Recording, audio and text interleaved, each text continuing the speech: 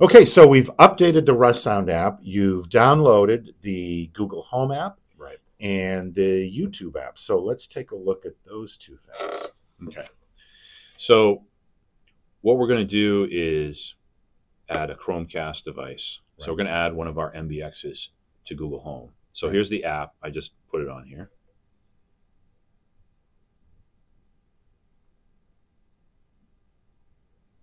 Because if you want to play your YouTube music from here, you're going to need to cast it, correct? That's correct.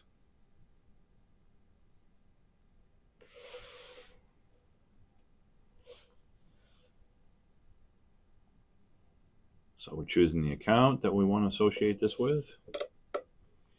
And these are just the standard It would be- Google Home screens, right? Right. Setting And this would be, device. again, you would have your, your customer's account for this purpose. Right. And since it was already signed in at the Play Store, Mhm. it's already it's already available here. So once you sign in, it's a, that's available everywhere. All right, so we're signed into the Google Home app, Mhm. and it's connected to, by default, the same Google account we use at the Play Store. Okay. right. So now we we want to add a device. So we select devices on the side here. Right. See earlier we did add an MBX. Um, I'm just going to add another one just to so you can see. Sure. So if if you've already got an MBX, for example, set up on the network, it would show up.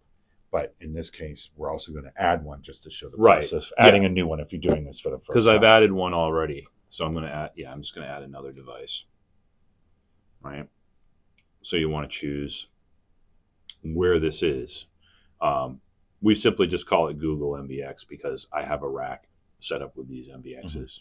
And But that's what it's normally this might say kitchen, living room. you can dining change, yeah. kind of Because if you say, "Hey, I want to add this," exactly. If you want to add that device and you want to call it a room because it's going to work in a particular room, you can do that, and that that gives you an option to add that there. Mhm. Okay, so I'm just going to click next. Right. Location access next. So do we want to allow it? Yep.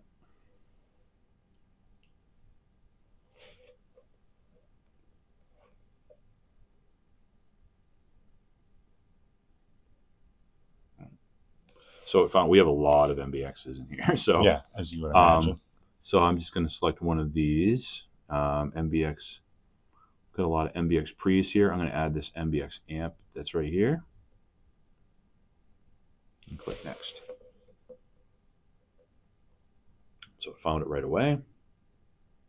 Now, if I had it hooked up, it's it's kind of far off in another room. So when you have this all installed and hooked up to another speaker, it's going to play a sound. right. through You would actually be able to hear. Yeah. it. It's a confirmation. You won't- Exactly. won't hear it here. So if you didn't hear it and you're like, oh, what's going on? You check your amp. It's like, oh, I forgot to connect the speaker. you know, so Mhm. something simple like that usually. And then just hit yes. Um, ask you if you want to help improve uh, experience by sending data. Not everybody's going to want to do that. Mhm. Uh, we always do. So yes, I'm in. Um, so you can choose a room to have this in here. Right. Now, I'm just going to choose office. Continue. And now it's finalizing connection. That was done pretty quickly. All right. And we're going to finish the setup.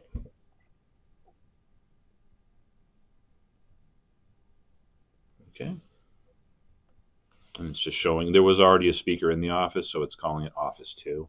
Mhm. Okay. That's ready to go. So it's pretty easy to set up.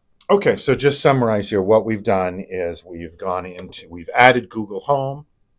We have added an MBX amp to the Google Home network. That's, we're going to Yep. assume that's already plugged in, configured, and hooked up, Right. but it hadn't been connected to the Google Home network yet.